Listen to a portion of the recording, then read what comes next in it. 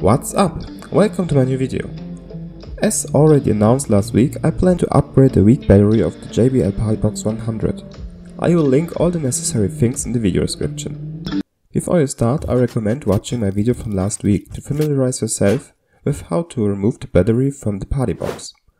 Be careful, these lithium ion cells can be very dangerous and catch fire easily. I am not responsible for any damage. Do this upgrade only if you know what you're doing. First, try to gently lift the battery. Do not damage the batteries or the PCB. You can cause a short circuit. The batteries are glued to the frame.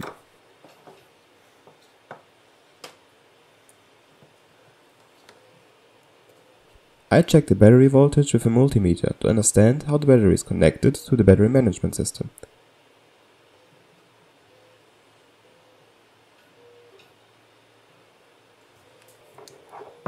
Next, I remove the tape from the thermistor and take it out.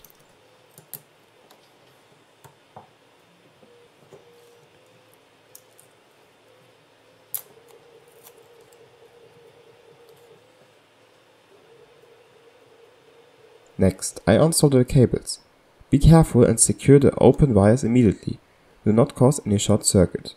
Now you can cut the connections to the BMS. Again, do not touch any other parts accidentally.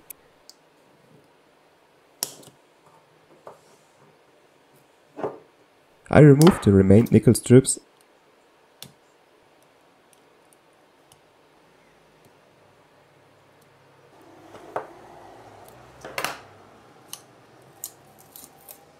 and unfold the battery.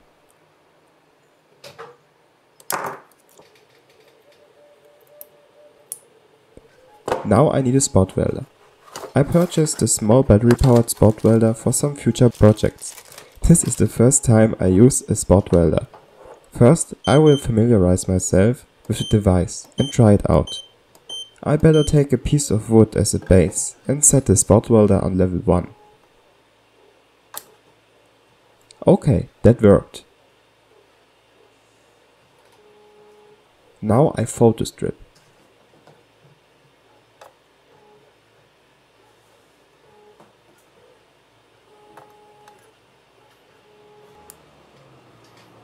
Okay, I think I'm ready.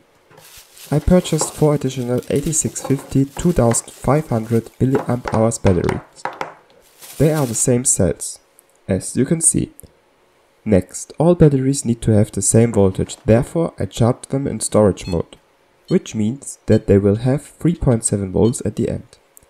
While the batteries are charging, I designed a new case in Fusion 360.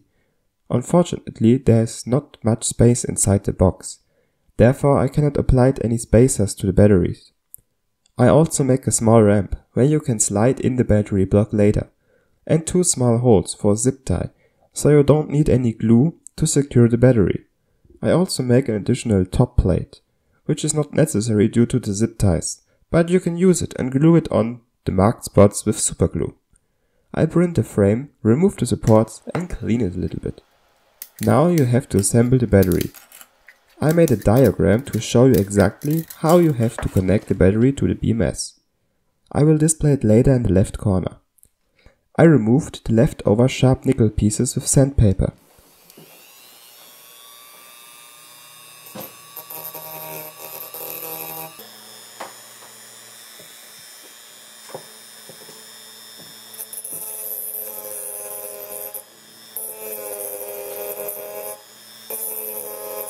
Now I can finally spot weld them. First I make blocks of two batteries together in parallel.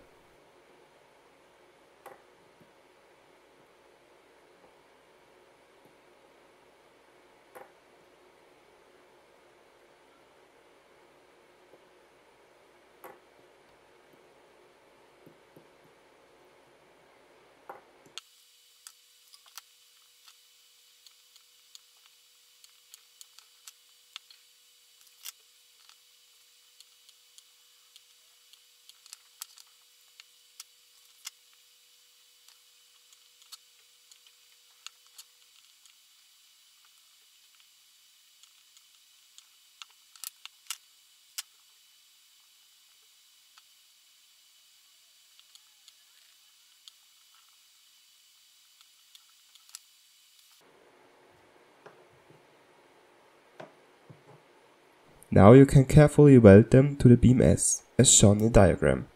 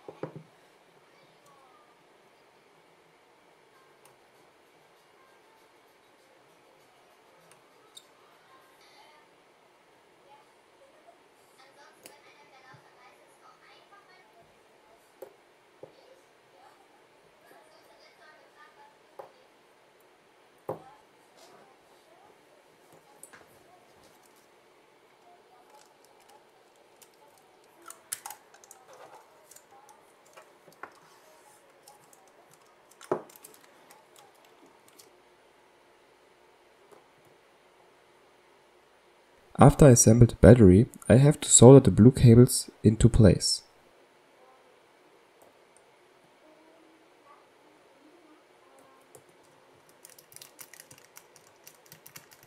I wrap the battery with heat resistant tape and put it into the 3D printed frame.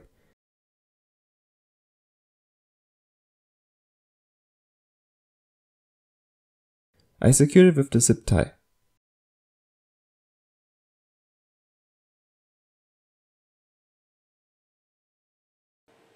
And hot glue.